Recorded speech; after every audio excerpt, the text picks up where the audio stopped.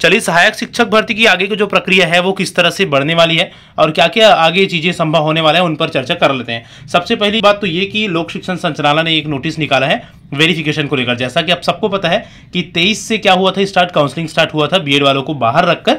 लेकिन बीएड वालों के पक्ष में फैसले के बाद सुप्रीम कोर्ट का की प्रक्रिया में शामिल किया जाए। जितने भी डीएड वालों का नाम बिना बीएड के आया हुआ था, वो सभी भी काउंसलिंग प्रक्रिया में भाग ले रहे हैं और आगे जो वेरिफिकेशन का प्रोसेस है, उन सब में सबको शामिल किया जाएगा। देखिए, यहाँ पर एक बात तो स्पष्ट है, कई लोगों में ये कंफ्यूजन की स्थिति है कि देखिए, पहले बिना बीएड के लगभग सात हज़ार और नौ हज़ार मेल में सात हज़ार तक और फीमेल में नौ हज़ार तक कट ऑफ़ गया हुआ था।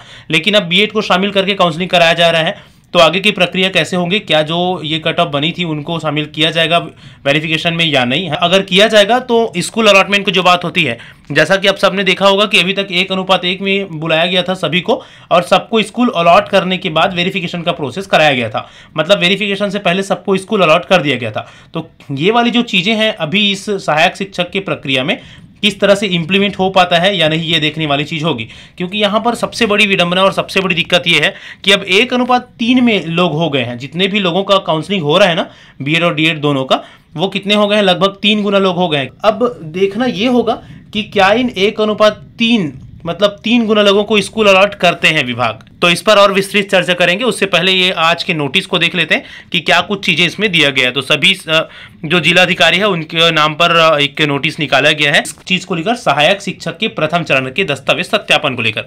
बोला क्या जाए भाई, तेईस से काउंसलिंग स्टार्ट था, जो सात तक चलेगा, और काउंसलिंग खत्म होने के जस्ट बाद ना, आठ सितंबर से तेरह सितंबर तक।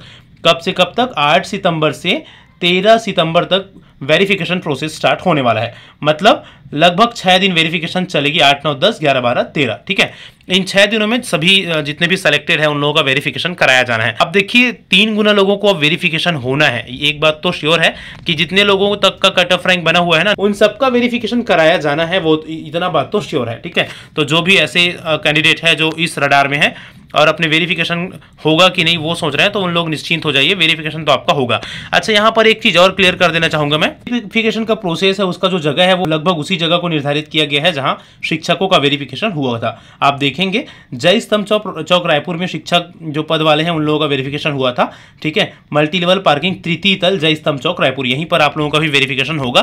तो फ़िलहाल आप ये डेट याद रखिए, आठ सितंबर से तेरह सितंबर। अच्छा अब यहाँ पर अलग अलग डेट में अलग अलग लोगों को बुलाया जाएगा। वेरिफिकेशन जिनका भी होगा पहले दिन से, आठ तारीख से। आठ तारीख से ना, को ना ग्यारह बजे से वेरिफिकेशन चालू होगा, लेकिन बाकी दिन में दस बजे से। ऐसा क्यों? क्योंकि शुरू दिन में थोड़ा सा व्यवस्था करने में टाइम लग जाता है, चीज़ों को मैनेज करने में इस कारण से। तो जिनका भी वेरिफिकेशन होगा जिस डेट में, एक दो दिन पहले आपको क्या आएगा, आपके प्रोफ़ाइल में अपडेशन आएगा, और या तो मोबाइल में मैसेज आएगा कि इस दिन इस जगह में आपका इतने बजे वेरिफिकेशन का प्रोसेस होना है तो वहाँ उपस्थित होइए, है ना? तो ये बेसिकली मेन चीज़ें हो गई। कि भाई वेरिफिकेशन आठ से स्टार्ट होना है, तेरह तक चलेगा और इस बीच में सभी उन अभ्यर्थियों का वेरिफिकेशन होना है, जिनका काउंसलिंग अभी हो रहा है। चलिए अब बात करते हैं कि स्कूल का अलॉटमेंट का क्या व्यवस्था रहेगा और किस तरह से आगे चीज़ें संभव हो पाएगी। देखिए, जहाँ तक बात करें, एक अनुवाद तीन मतलब तीन गुना लोगों को स्कूल अलॉट करने का। तो ये ना थोड़ा सा व्यवहारिक रूप से मुश्किल लग रहा है, क्योंकि जितने पोस्ट नहीं है, उतने ज़्यादा स्कूल में पदस्थापना देना या स्कूल अलॉट करना थोड़ा सा अव्यवहारिक नज़र आता है, ठीक है? क्योंकि काउंसलिंग की प्रक्रिया हो जाए रहेगा तो वेरिफिकेशन से पहले तीन गुना लोगों को स्कूल अलॉट करना थोड़ा सा मुश्किल नज़र आ रहा है। देखना होगा कि विभाग क्या करते हैं। चीज़ें हैं वो नियमता या बहुत ही अच्छे से सुचारू रूप से तभी संभव हो पाएगा अगर ये किया जाए कि सबसे पहले काउंसलिंग की प्रोसेस तो करा लिया जा रहा है, कोई दिक्कत नहीं है इसमें। जितने भी लोग हैं उन सबको वेरिफिकेशन के लिए बुलाया जाए वेरिफिकेशन कराया जाए और उसमें जितने लोग पात्र होते हैं और जितने पोस्ट है, उतने लोगों को स्कूल अलॉट किया जाए। और जो अपात्र है, उन लोगों को स्कूल अलॉट करने की कोई आवश्यकता वैसे भी शुरू से नहीं है, ठीक है? तो ये अगर प्रक्रिया अपनाते हैं ना, सबसे पहले वेरिफिकेशन करा लीजिए। वेरिफिकेशन के बाद जितने लोग पात्र होते हैं, उसमें मेरिट बनाइए है ना? और बाकी लोगों को वेटिंग लिस्ट में रखेंगे। सिंपल सी बात है इन गुना लोग हो रहे हैं नौ हज़ार रैंक तक तो जो बाकी लोग हैं, उन लोगों को क्या किया जाएगा? वेटिंग में रखा जाएगा। इसके बाद बात आती है ज्वाइनिंग का तो ज्वाइनिंग जहाँ तक संभव लग रहा है ज्वाइनिंग वाला काम विभाग तभी करेगा जब हाई कोर्ट का निर्णय आएगा। आप सबको पता है कि जो सिलेक्शन है उसमें सुप्रीम कोर्ट ने ये बोला है कि अगर नियुक्ति भी देते हैं ना तो एक क्लॉज एड करके देना पड़ेगा। क्लॉज मतलब एक लाइन लिखना पड़ेगा कि जिनकी भी नियुक्ति हो रही है, वो सुप्रीम कोर्ट के फैसले के अधीन रहेगा। अगर बीएड या डीएड वालों की नियुक्ति होती है, ठीक है तो और बाद में कोर्ट ये बोल देता है कि बीएड वालों को जो इसमें शामिल नहीं करना है तो फिर जो ज्वाइन कर चुके होंगे बीएड उन लोगों को भी वापस लेना पड़ेगा विभाग को, ठीक है? तो इन चीज़ें थोड़ा सा कॉम्प्लिकेटेड है। अगर हाई कोर्ट के निर्णय के पहले अगर नियुक्ति देते हैं तो विभाग को भी सारी चीज़ें जल्दी से करना है तो देखते हैं क्या करते हैं। देखिए, अगर हाई कोर्ट के फैसले से पहले अगर ज्वाइनिंग देते हैं तो समस्या बीएड वालों को ही होने वाला होगा डीएड वालों को नहीं। कैसे? थोड़ा सा स्पष्ट करता हूँ, एक बार देख लीजिए। जैसे सपोज़ बीएड वालों को ज्वाइन दे देते हैं, सपोज़ हाई कोर्ट ये बोलता है कि बीएड वालों को शामिल नहीं किया जाए।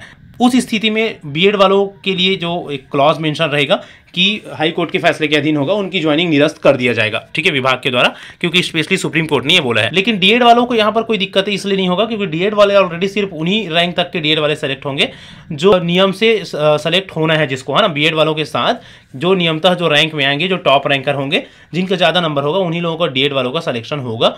अगर बीएड वालों को शामिल कर कर ज्वाइनिंग दिया जाता है, और बाद में बीएड वालों को सपोज़ नहीं रखना है, ऐसा ऑर्डर आ जाता है हाईकोर्ट का तो उस केस में, ठीक है? क्योंकि बाद में जो जितने भी रैंक हैं, उन लोग वेटिंग में रहेंगे तो उन लोगों को तो फिर ज्वाइनिंग निरस्त करने वाली कोई बात ही नहीं है। तो चीज़ें इस तरह से कॉम्प्लिकेटेड नज़र आती है, अगर हाई कोर्ट के फैसले के पहले ज्वाइनिंग दे दिया जाता है विभाग के द्वारा।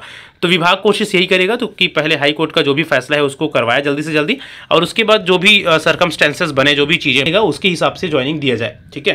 तो इस तरह से सारी चीज़ें संभव होते नज़र आ रही है। बाकी आगे देखते हैं किस तरह से क्या हो पाता है। और जो हाई कोर्ट का फैसला है, आप सबको पता है कि हाई कोर्ट के फैसले के बाद ही जो भी चीज़ें हैं वो क्लियर हो गए, होगा कि डीएड या बीएड वाला जो मैटर है है ना? उम्मीद करते हैं कि जो भी चीज़ें हो, बहुत ही जल्दी हो और सारी चीज़ें जल्दी से जल्दी कंप्लीट हो जाए। फ़िलहाल इस वीडियो में इतना ही। मिलते हैं नेक्स्ट वीडियो में। तब तक के लिए थैंक यू सो मच अगर चैनल में नहीं है तो चैनल सब्सक्राइब करना ना भूलिएगा। अपने दोस्तों के साथ वीडियो ज़रूर शेयर कर लीजिए।